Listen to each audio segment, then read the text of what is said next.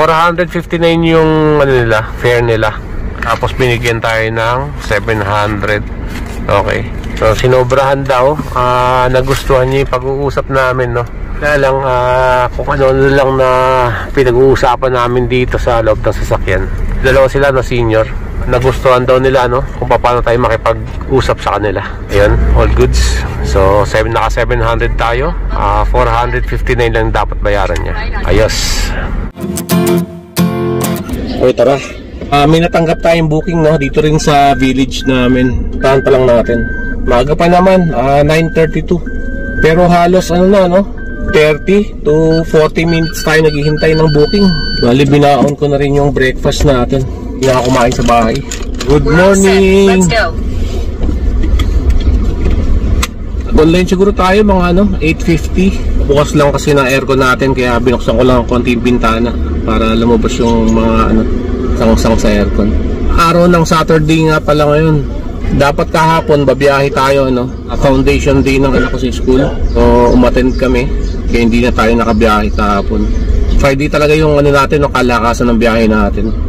So try natin ano, Sabado. Hindi lang alam kung maraming ano ngayon, pasahero. Online pa pala ako.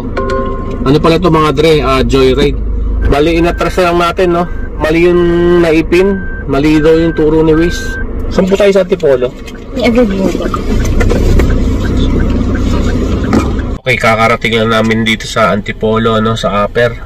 Ah, pababa, bago magtikling. Na-entrip na rin natin. Ito yung first booking ko kay Joyride. Tambay muna tayo dito, hanap tayo ng pwesto, matatambayan natin dito. Oh, marami naman tayong mga tambayan dito eh. Ah, hindi naman ganun kahirap tumambay dito. Ililim tayo. Dito na tayo mag-waiting ng mga booking natin, mga dre.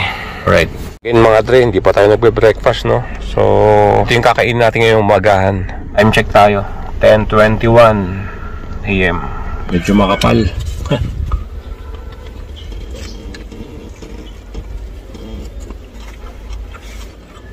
Loaded.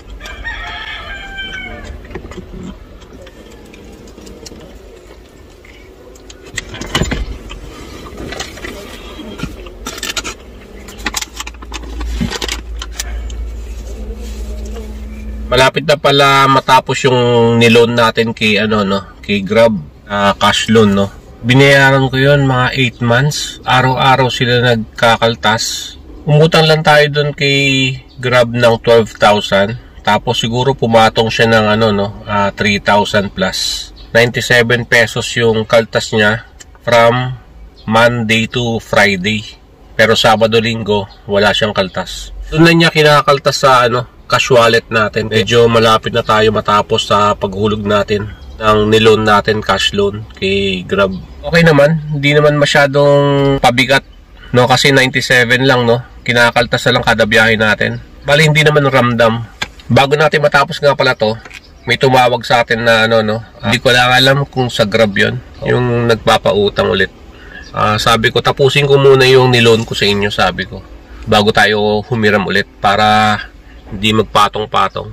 Siguro pwede tayong humiram ng ano lang, ah, wag masyadong mataas no kasi mataas din yung interest. Bali hindi naman natin ramdam yung pagkaltas sila araw-araw. Ah, siguro pag nagpa-loan uli si Grab ah, bahala na kung magkano ihirimin natin. Depende sa kung anong gusto natin bilhin o pagkagastusan.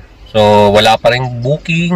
Sana may pumasok agad na booking para makalarga na tayo dito. Yun, may pumasok na booking, no? Diyan natin na ano yun, pipick upin. Medyo malayo. Papuntang Pasay. Bali dito yung pick up natin. Tapos naman yung drop off natin, no? Ah, SM Mall of Asia. Okay mga dreg, all goods. Kita-kits tayo sa ano, pick up. Kala ko matatagalan tayo dito, ano? Inon ko na rin pala yung ano, yung saver natin. Hindi ko napansin kung naka-saver to. Kasi pag naka-off yung saver, no? Ah, yung papasok na booking.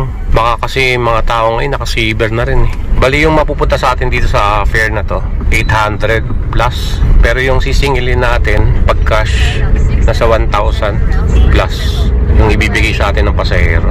Okay, tayo ano, pipick up ng pasahero. So pag luma yung sasakyan mo na mahirapan dyan, no? Baahon. Taas, oh. Patirik. Medyo malayo yung ano ah, pagigimikan ni ate ah, sa Mall of Asia. Pwede naman mag SM North, no? O SM Mega Mall. All goods na rin yan. Baka may meeting o may gagawin siya doon.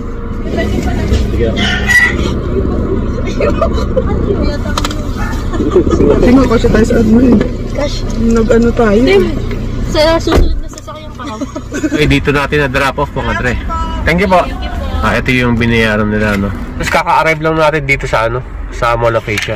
Time check tayo. 12.44. Ito yung bayad nila. Sila yung ah, sumakay sa atin sa Antipolo. Six-seater nga pala yung binok nila. Okay, may booking tayo. Kakababa lang dito tayo sa loob ng ano, mga tiyanggi-tiyanggi, baklaran. Parang dumaan ka sa butas ng karayom eh. Dami pa rin nakaharang dun sa ano. Kaya ang bagal ng ano natin, pag-arrive natin dito. May booking tayo. Mamaya nga pala mga dre, tanggalin na natin yung ano, no, saver. Kailangan talaga dito dahan-dahan lang. Hindi pwedeng ano, magmadali. Parang yung babae kanina, ano, hindi ko lang alam kung tendera yun. Ang layo kung saan nakatingin. Hindi tumitingin sa kalsada kung saan dumadaan yung mga sasakyan. Malapit na rin mga dre. Matawid tayo ng EDSA. Minsan yung ano, ah, mga 100 lang, no? O less than. Tapos 6-seater. Malapit lang pero sobrang dami nila sumasakay. Lalang nakwento ko lang.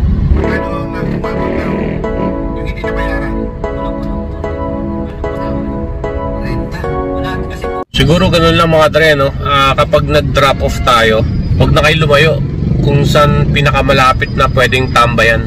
Tapos magpatay lang kayo ng makina. Maghintay lang kayo doon. May papasok at papasok yan. Parang kanina, ano, ah, nasa Upper Antipolo. Hindi ko alam na, ano, Kala ko nga matetenga tayo na matagal doon. Ah, nagpahatid sa Mall of Asia, 800 plus yung ano, yung fare niya, no. Mapupunta sa atin yung malinis. Maghintay lang tayo doon. Mas mahirap naman yung paikot-ikot ka tapos hindi mo alam kung saan ka pupunta, no. Kasi may area rin na mahirap mag-park o mahirap humanap ng ay makakarating. Kaka-arrive lang natin dito yung pick up natin sa eskwelahan. So tinatawagan ko muna yung pasahero natin. Hello? Hello po, andito na po ako sa may eskwelahan. Dito na po. Okay, okay. Good afternoon po. Okay, napatpad tayo dito sa PGH, no? Manila. Binayaran na rin tayo. 315 yung ano, binayaran nila. Ito yung bayad nila, no? Ito, may booking tayo. Kay Grab ulit. Dito yung pick up natin na Jollibee. Nag-additional 60 pesos si Grab kapag lagpas 3 kilometro yung pick up. So nasa 3.1, 3.2 kilometer kanina. Bumuhos na ulan. Minsan ano eh, ina-arrive ko na agad. Pagka-arrive natin, doon pa lang sila paano, no? Pa-prepare pa lang sila. Ah, baba pa lang ng elevator. Wala, hindi pa tayo naantabayanan. Lalo na pag mahirap mag-park sa mga ano, no? Katulad ng lugar na ganito. Mukhang marami yung sasakay sa atin, mga tre. Kuya, dagdagan lang kita kayo. Dito natin na drop off. 284 dapat yung babayaran niya. Ah, binigyan tayo ng ano, madre, 400 pesos. So sa atin na daw yung sobra. So binuksan din natin yung bintana kasi yung bata medyo umuubo. Halos nasa likod natin. No? Buti may ano tayo, naka face mask tayo. Ah, malakas pa naman makapaghawa yung mga bata. Pag may halimbawa, may sakit. Ako madalas ako nahawa sa anak ko, no? yung bunso. Pag may sipon siya. No? Naghahanap ako ng karinderya ngayon. Time check tayo, 2.24. So days pa tayo kumakain. Ang tanghalian natin. Kanina umaga, nag-sandwich lang tayo. Ano? Sana makahanap tayo ng karinderya na medyo marami yung pagpipilian para all goods yung kain natin. Puro pares yung nakikita ko, no? Mga ganyan. Halos ganyan lahat yung nakikita ko eh. Pares. So kaliwa ko kaya dito. Nasa Ennis Amorando na tayo. Wala tayo madaanan dito na ano, na karinderya man lang. Para maka-online na tayo sa Grab. Sige, kaliwa ko dito. Baka dito may karinderya tayo. Puro restaurant kasi. Mas masarap kasi yung luto sa karinderya eh. Hindi joke. Yun, parang yun. Kainan yata dun. Lakarin ko muna. So isang putahe lang yung ulam nila ate. Pero mukhang masarap naman. Okay na po to. Ate, malaman na ayoko yung ano. Ayoko yung puwet. Hindi ako makain ng puwet. Sige po, sa sabaw po. Bali, 80 pesos. Yun, no? Saka isang kanin natin. Kasya po ba yung 100? Oo, sobra pa ng ano. Ah, sige po. Okay. Kotse na tayo kumain. Kapag umaga po, marami kayong ano. Salamat. Okay, ah, mga dre, ito yung ulam natin. Hindi ko natin ano kung anong luto to, no? Kasi isang putahe lang. Ito lang yata yung ulam nila dun. No choice tayo. Okay, mukha naman masarap. Yung chicken nila malalaki, no? Parang McDonald's. Tara mga dre, kain tayo.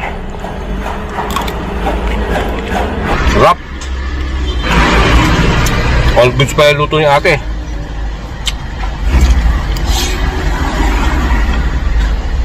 Sayang yung sili, parang wala lang anghang.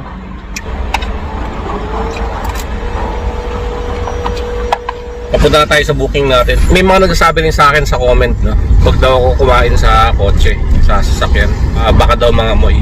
So tama naman. Kaya nagbabaon tayo ng ano, hand sanitizer, yung mabango. Ito yun mga Dre, oh. Nagpabili ako sa ate ko ng ganito. Ito yung ginagamit ko kapag may pasahero tayo, tapos kumain tayo sa sasakyan para hindi mangamoy. Saka madalas din tayo nagbubukas ng ano, no, bintana. Kaya siguro hindi na ano yung amoy na papasok dito sa sasakyan. Nakukulob. Baba lang ni Sir. Dito tayo napunta sa ano, ano, Eton. Ay, grab pay naman. Alanganin yung pasok ng ano, booking. So nasa ano tayo, Eton Centris tayo ano. Pas tayo, patawid tayo ng EDSA. Lang pumasok tong booking na to sa bandang McDonald's lang sa kabilang side. So gagawa tayo ng paraan dito. Ah, papuntang Makati to. Oh, nag-U-turn na lang tayo dito. Siguro pwede tayo kumaliwa din sa Quezon Ave no. Pag bawal sa Panay Avenue tayo. Pwede naman kumaliwa. Goods. Ah, kaliwa na tayo dito. Ah, 1.4 kilometer pa tayo pinapa Swiss talaga oh. So dito yung pick up natin, no? pinapadiretso pa tayo dyan. Ayan no. Dito yung pick up natin dyan no. Talagang ano no, ah, talagang pinanindigan ni Waze oh. Kakanan lang tayo dito eh. Andyan na yung pick up oh. Right na tayo dito. Ah, ito si Sir. Okay lang Sir. Time check tayo 409. So dito tayo ngayon sa Makati. Tapos may pumasok na booking sa atin ngayon. 530 meters lang. Pick upin na natin to. Wala masyadong traffic ngayon.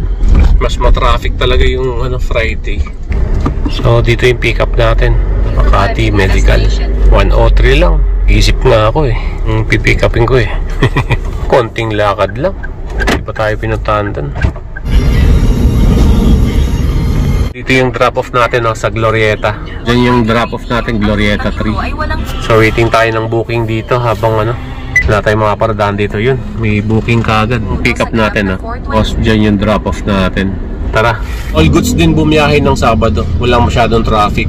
Kahit pa paano, no? hindi naman olats. Siguro makakauwi tayo ng ano, maganda-ganda. Tsak na maliligayahan kayo ng konti. Masyadong maaraw ngayon. Nag-uulan-ulan. 426. Dati dito sa ano, Glorieta. Dati no, halos madalas tayo napupunta dito. Glorieta. Ibig sabihin, ito kasi ako bumibili ng mga ano, ah, pang gimmick-gimmick no, mga damit. May kasi tayo ano eh, pumorma dati. Buti po sakto yung labas nyo. Kanina pa ako nag-aantay. Ah, kanina pa ba? Kasi nga, no, wait. Okay mga dre, dito na tayo no, sa Pasig. Bago natin na drop off to ngayon, may pumasok. Pero parang gusto ko na mag-set destination, Ermita, Manila. Pero tingnan natin. Sige mga dre, pagtsagaan na natin to. Tapos from Ermita, Manila, no, doon na tayo mag-set destination. Alas 5 na. Total, hindi naman tayo bumiyahe kahapon. Lubos-lubosin na natin yung lakas ng biyahe ngayong araw. Sayang eh, nasa 500 plus din yung ano. Para tayong nasa loob ng kanal eh.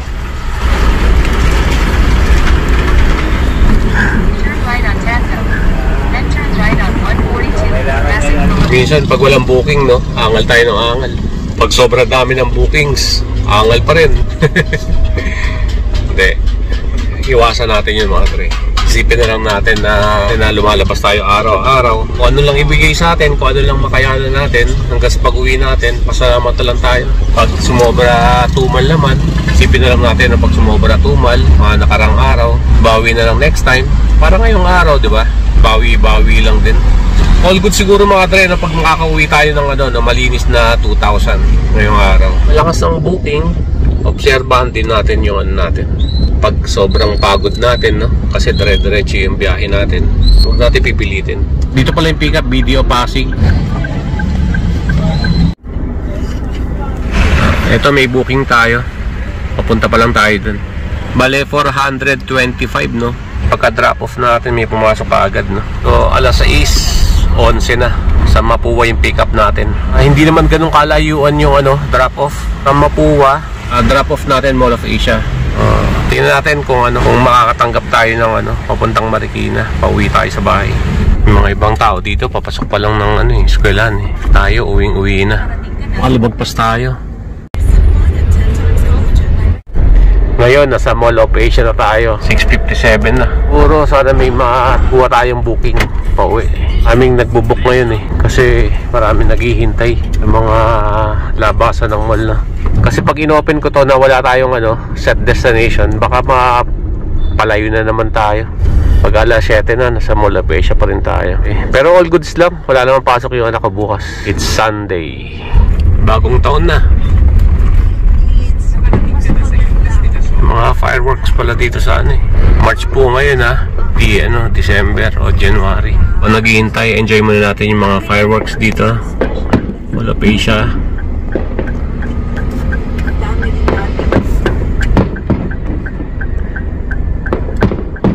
Sila ate yung nag-enjoy sa ano, fireworks. Ito pala sila. Nakatingin sila sa taas eh. Next set destination na tayo ngayon mga dre.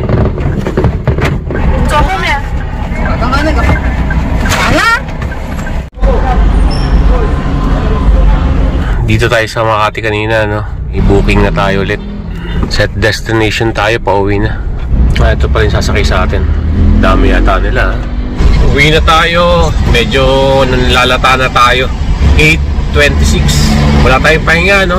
Kain lang yung pahinga natin. Siguro mga 10 minutes lang yata tayo kumain. Yun lang. Tapos dire-diretso biyahe natin. So medyo maaga tayo nagsimula kanina. Oh, kasi may injury ako dito sa kaliwa traps kung alam niyo yun traps. Tapos may banda dito lalim ng leeg dito. Kasi dati ah, medyo mabibigat yung binubuhat ko. Pa- parang napatid yata yung maliit na ugat parang ganon ewan ko kung namaga dati to. Ganito yun nararamdaman ko kapag ano medyo ngalay saka masakit. Parang bumabalik yung injury ko dati. Pag alam ng katawan ko parang pagod na pagod kaya minsan gusto ko talaga humiga magpahinga. Kanina pinipindot-pindot ko pinipisil-pisil ko masakit. Masakit yung muscle pinasahe ko. Nawala naman. Hanggang ngayon wala na. Bumalik uli yung ano natin yung sigla ba. So siguro sa bahay na tayo kumain no? Total gabi na. Baka may pagkain sa bahay pag kumain pa tayo sa labas. So papagas muna tayo mga tre para makita natin yung maiuwi natin ngayong araw so ngayong araw mga tre nakarami tayo ng biyahe kasi palagi tayong ganyan magmaneho ayan lang yung kaliwa lang natin yung isang braso natin Ayan, parang ganyan lang. Kaya siguro nangangawit yung dito ko. Minsan dalawang kamay. Na-alternate ko minsan kaliwat kanan kasi ah, yung kaliwa natin no, masyadong laspag. So siguro kaya ano yan, ah, naramdaman ko uli yung dati kong injury. Well, goods, ah, dito na tayo sa gasoline station. 1,100 yung gas natin. So full tank na mga dre.